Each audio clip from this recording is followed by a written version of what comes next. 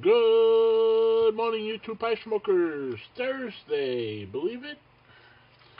October 15th, 43 degrees, heading up to 73. A 30 degree swing.